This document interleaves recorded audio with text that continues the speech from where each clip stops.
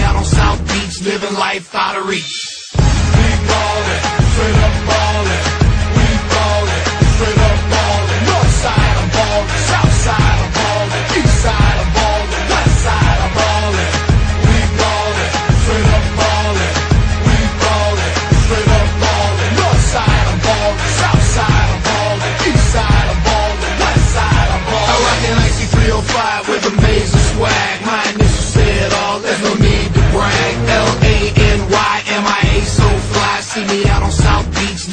life out of reach.